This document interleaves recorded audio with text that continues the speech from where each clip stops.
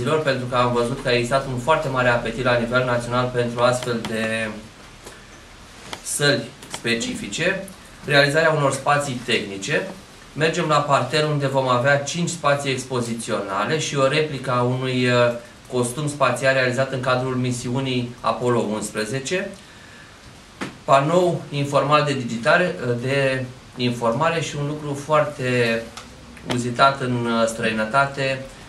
acele monede suvenir pe care turiștii le pot primi când vizitează un obiectiv și la fel vom avea și aici astfel de prese. Spațiile tehnice, la etajul 1 vom avea un spațiu expozițional